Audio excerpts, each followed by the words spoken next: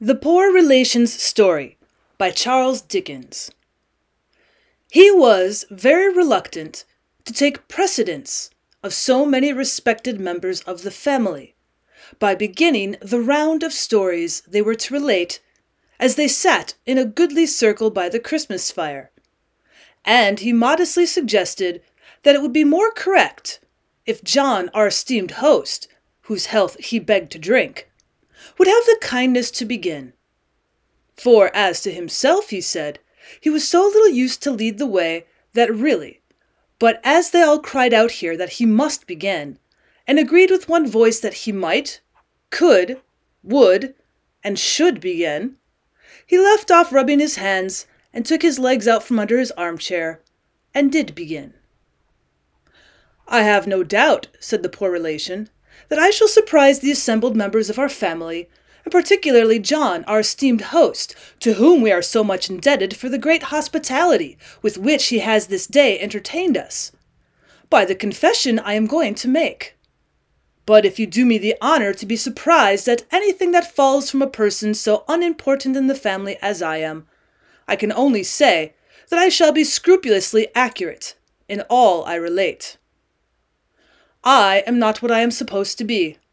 I am quite another thing.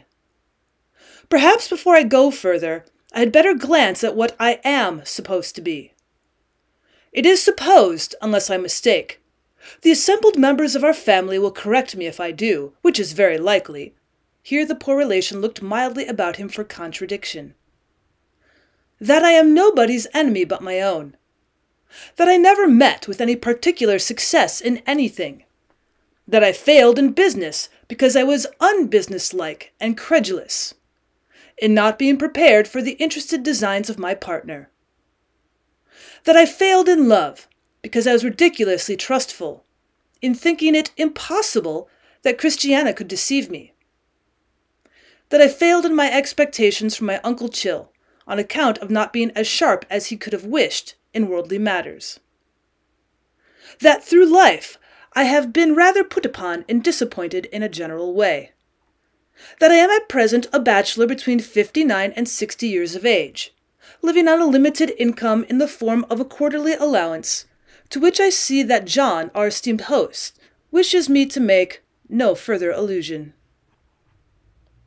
The supposition as to my present pursuits and habits is to the following effect.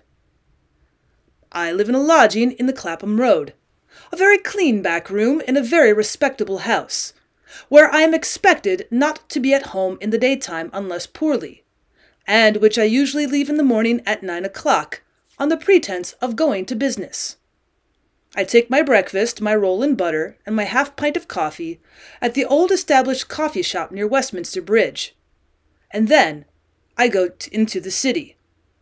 I don't know why and sit in Garraway's coffee house and on change and walkabout, and look into a few offices and counting houses where some of my relations or acquaintances are so good as to tolerate me, and where I stand by the fire if the weather happens to be cold. I get through the day in this way until five o'clock, and then I dine, at a cost on the average of one and threepence. Having still a little money to spend on my evening's entertainment, I look into the old established coffee shop as I go home and take my cup of tea, and perhaps my bit of toast. So, as the large hand of the clock makes its way round to the morning hour again, I make my way round to the Clapham Road again, and go to bed when I get my lodging. Fire being expensive, and being objected to by the family on account of its giving trouble, and making a dirt. Sometimes one of my relations or acquaintances is so obliging as to ask me to dinner. Those are holiday occasions, and then I generally walk in the park. I am a solitary man and seldom walk with anybody. Not that I am avoided because I am shabby, for I'm not at all shabby, having always a very good suit of black on, or rather an Oxford mixture, which has the appearance of black and wears much better. But I have got into a habit of speaking low and being rather silent, and my spirits are not high, and I am sensible that I'm not an attractive companion. The only exception to this general rule is the child of my first cousin, little Frank. I have a particular affection for that child, and he takes very kindly to me. He is a diffident boy by nature, and in a crowd he is soon run over, as I may say, and forgotten. He and I, however, get on exceedingly well. I have a fancy that the poor child will in time succeed to my peculiar position in the family. We talk but little. Still, we understand each other.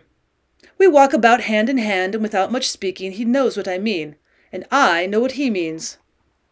When he was very little indeed, I used to take him to the windows of the toy shops and show him the toys inside. It is surprising how soon he found out that I would have made him a great many presents if I had been in circumstances to do it. Little Frank and I go out and look at the outside at the monuments. He is very fond of the monuments, and at the bridges, and at all the sights that are free. On two of my birthdays, we have dined on à-la-mode beef, and gone at half price to the play, and been deeply interested. I was once walking with him in Lombard Street, where we often visit on account of my having mentioned to him that there are great riches there. He is very fond of Lombard Street, when a gentleman said to me as he passed by, Sir, your little son has dropped his glove. I assure you, if you will excuse my remarking on so trivial a circumstance, this accidental mention of the child as mine quite touched my heart, and brought the foolish tears into my eyes. When little Frank is sent to school in the country, I shall be very much at a loss what to do with myself. But I have the intention of walking down there once a month, and seeing him on a half holiday. I am told he will then be at play upon the heath, and if my visits should be objected to as unsettling the child, I can see him from a distance without his seeing me, and walk back again. His mother comes of a highly genteel family, and rather disapproves, I am aware, of our being too much together. I know that I'm not calculated to improve his retiring disposition, but I think he would miss me beyond the feeling of the moment if we were wholly separated. When I die in the Clapham Road, I shall not leave much more in this world than I shall take out of it. But I happen to have a miniature of a bright faced boy with a curling head, and an open shirt frill waving down his bosom. My mother had taken it for me, but I can't believe that it was ever like. Which will be worth nothing to sell, and which I shall be, beg that it may be given to Frank. I have given my dear boy a little letter in it, in which I have told him that I felt very sorry to part from him, though bound to confess that I knew no reason why I should remain there. I have given him some short advice, the best in my power, to take the warning of the consequences of being nobody's enemy but his own. And I have endeavored to comfort him for what I fear he will consider a bereavement, by pointing out to him that I was only a superfluous something to everyone but him, and that having by some means failed to find a place in this great assembly, I am better out of it. Such, said the poor relation, clearing his throat and beginning to speak a little louder, is the general impression about me. Now, it is a remarkable circumstance, which forms the aim and purpose of my story, that this is all wrong. This is not my life and these are not my habits. I do not even live in the Clapham Road. Comparatively speaking, I am very seldom there. I reside mostly in a well, I'm almost ashamed to say the word, it sounds so full of pretension in a castle. I do not mean that it is an old baronial habitation, but it still it is a building always known to everyone by the name of a castle. In it I preserve the particulars of my history, and they run thus. It was when I first took John Spatter, who had been my clerk, into partnership, and when I was still a young man of not more than five and twenty, residing in the house of my uncle Chill, from whom I've had considerable expectations, and that I ventured to propose to Christiana. I had loved Christiana a long time. She was very beautiful and very winning in all respects. I rather mistrusted her widowed mother, who I feared was of a plotting and mercenary turn of mind, but I thought as well of her as I could for Christiana's sake. I never had loved anyone but Christiana, and she had been all the world, and far more than all the world to me from our childhood. Christiana accepted me with her mother's consent, and I was rendered very happy indeed. My life at my Uncle Chill's was of a spare, dull kind, and my garret chamber was as dull and bare and cold as an upper prison room in some stern northern fortress. But having Christiana's love, I wanted nothing upon earth. I would not have changed my lot with any human being. Avarice was, unhappily, my Uncle Chill's master vice, Though he was rich, he pinched and scraped and clutched and lived miserably. As Christiana had no fortune, I was for some time a little fearful of confessing our engagement to him. But at length I wrote him a letter saying how it all truly was. I put it into his hand one night on going to bed. As I came downstairs next morning, shivering in the cold December air, colder in my uncle's unwarmed house than in the street, where the winter sun did sometimes shine, and which was at all events enlivened by cheerful faces and voices passing along. I carried a heavy heart towards the long, low breakfast room in which my uncle sat. It was a large room with a small fire, and there was a great bay window in it which the rain had marked in the night, as if with tears of houseless people. It stared upon a raw yard with cracked stone pavement and some rusted iron railings half uprooted, whence an ugly outbuilding that had once been a dissecting room, in the time of the great surgeon who had mortgaged the house to my uncle, stared at it. We rose so early always that at that time of year we breakfasted by candlelight. When I went into the room, my uncle was so contracted by the cold, and so huddled together in his chair behind the one dim candle, that I did not see him until I was close to the table. As I held out my hand to him, he caught up his stick being infirm, he always walked about the house with a stick, and made a blow at me and said, You fool! Uncle, I returned, I didn't expect you to be so angry as this. Nor had I expected it, though he was a hard and angry old man. You didn't expect, said he. When did you ever expect? When did you ever calculate or look forward, you contemptible dog? Well, these are hard words, uncle. Hard words? Feathers to pelt such an idiot as you with, said he. Here, Betsy Snap, look at him. Betsy Snap was a withered, hard favored, yellow old woman, our only domestic, always employed at this time of the morning in rubbing my uncle's legs. As my uncle adjured her to look at me, he put his lean grip on the crown of her head, she kneeling beside him, and turned her face towards me. An involuntary thought connecting them both with the dissecting room, as it must have often been in the surgeon's time, passed across my mind in the midst of my anxiety. Look at the sniveling milksop, said my uncle. Look at the baby. This is the gentleman who people say is nobody's enemy but his own. This is the gentleman who can't say no. This is the gentleman who was making such large profits in his business that he must needs take a partner the other day. This is the gentleman who is going to marry a wife without a penny, and who falls into the hands of Jezebels who are speculating on my death.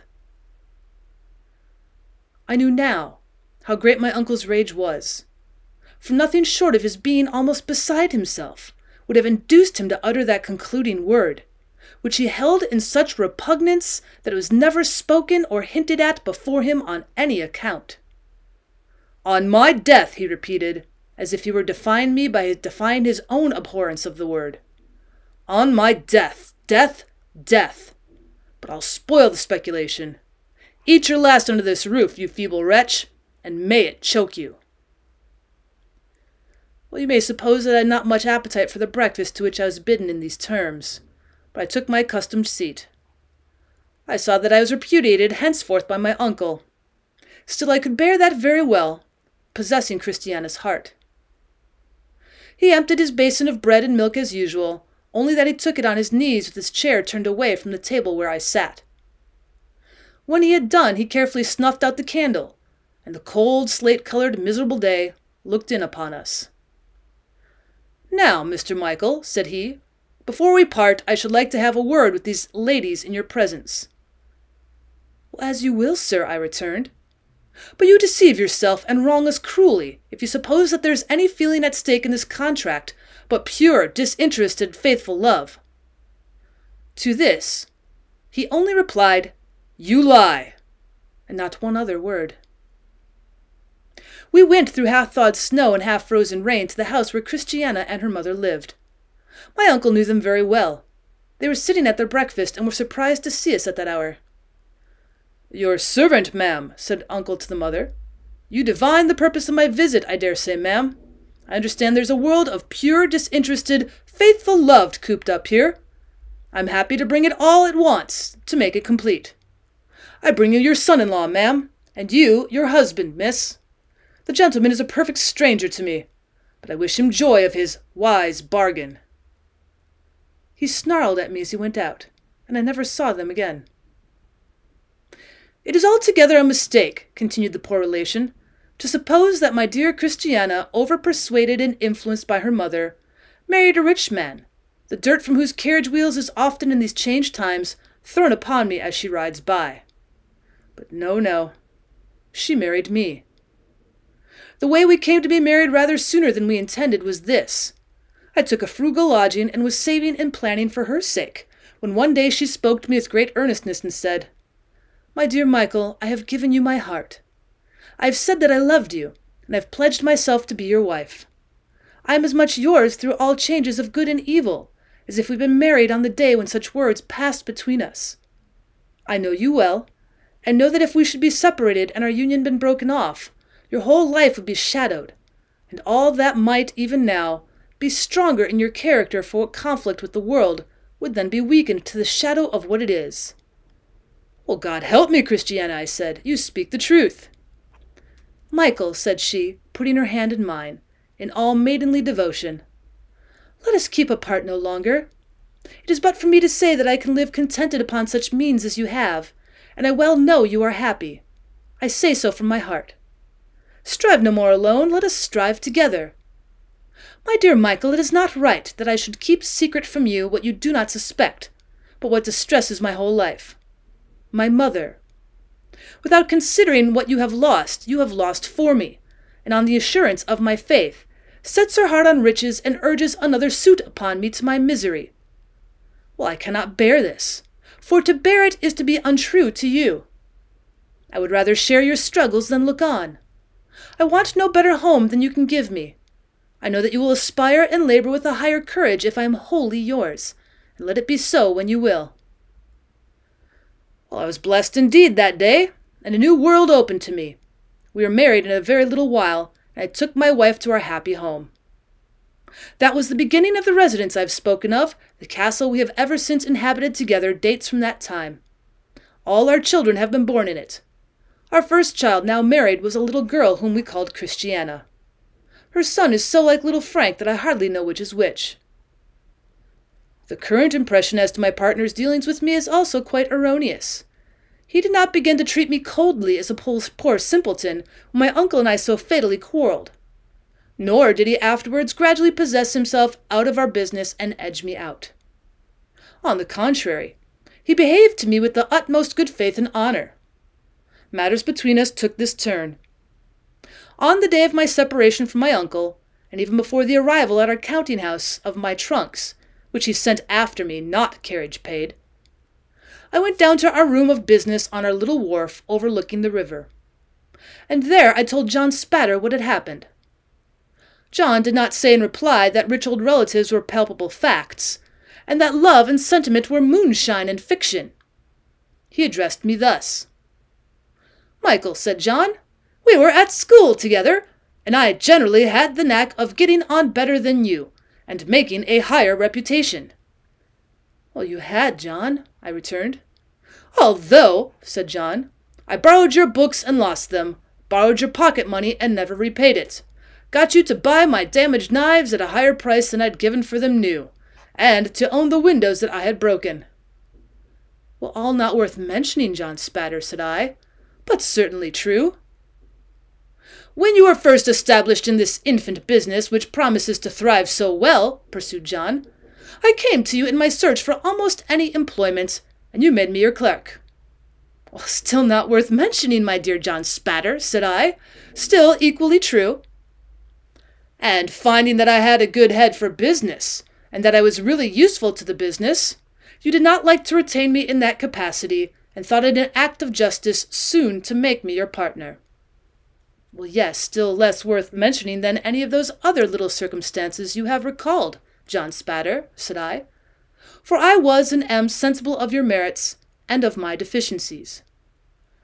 Well, now, my good friend, said John, drawing my arm through his, as he had had a habit of doing at school, while two vessels outside the windows of our counting house, which were shaped like the stern windows of a ship, went lightly down the river with the tide, as John and I might then be sailing away in company. and in trust and confidence on our voyage of life. Let there, under these friendly circumstances, be a right understanding between us. You are too easy, Michael. You are nobody's enemy but your own. If I were to give you that damaging character among our connection, with a shrug, and a shake of the head, and a sigh. But if I were further to abuse the trust you place in me, but you will never abuse it at all, John, I observed. Oh, never, said he. But I am putting a case. I say, if I were further to abuse that trust by keeping this piece of our common affairs in the dark, and this other piece in the light, and again this other piece in the twilight, and so on, I should strengthen my strength and weaken your weakness, day by day, until at last I found myself on the high road to fortune, and you left behind on some bare common, a hopeless number of miles out of the way. Well, exactly so, said I. To prevent this, Michael, said John Spatter, on the remotest chance of this, there must be perfect openness between us. Nothing must be concealed. We must have but one interest. Well, my dear John Spatter, I assured him, that is precisely what I mean. And when you are too easy, pursued John, his face glowing with friendship, you must allow me to prevent that imperfection in your nature from being taken advantage of by anyone. You must not expect me to humor it. My dear John Spatter, I interrupted, I don't expect you to humor it. I want to correct it. Oh, and, and I too, said John. Exactly so, cried I. We both have the same end in view, and, honorably seeking it, and fully trusting one another, and having but one interest, ours will be a prosperous and a happy partnership. Oh, I am sure of it, returned John Spatter, and we shook hands most affectionately. I took John home to my castle, and we had a very happy day. Our partnership throve well. My friend and partner supplied what I wanted, as I'd foreseen that he would, and by improving both the business and myself, amply acknowledged any little rise in life to which I had helped him. I have not, said the poor relation, looking at the fire as he slowly rubbed his hands. Very rich, for I never cared to be that. But I have enough, and I am above all moderate wants and anxieties. My castle is not a splendid place, but it is very comfortable and it has a warm and cheerful air and is quite a picture of home. Our eldest girl, who is very like her mother, married John Spatter's eldest son. Our two families are very closely united in other ties of attachment. It is very pleasant of an evening when we are all assembled together, which frequently happens, and when John and I talk over old times and the one interest there has always been between us. I really do not know in my castle what loneliness is. Some of our children or grandchildren are always about it, and the young voices of my descendants are delightful. Oh, how delightful! To me to hear. My dearest and most devoted wife, ever faithful and ever loving, ever helpful and sustaining and consoling, is the priceless blessing of my house, from whom all its other blessings spring. We are rather a musical family, and when Christiana sees me at any time a little weary or depressed, she steals to the piano and sings the gentle air she used to sing when we were first betrothed. So weak a man am I that I cannot bear to hear it from any other source. They played it once at the theatre when I was there with little Frank, and the child said, wondering, Cousin Michael, whose hot tears are these that have fallen on my hand? Such is my castle, and such the real particulars of my life therein preserved. I often take little Frank home there, he is very welcome to my grandchildren, and they play together. At this time of the year, the Christmas and the New Year time, I am seldom out of my castle. For the associations of the season seem to hold me there, and the precepts of the season seem to teach me that it is well to be there. And the castle is? observed a grave, kind voice among the company. Yes, my castle, said the poor relation, shaking his head as he still looked at the fire. Well, the castle is in the air. John, our esteemed host, suggests its situation accurately. My castle is in the air. I have done. Will you be so good as to pass the story?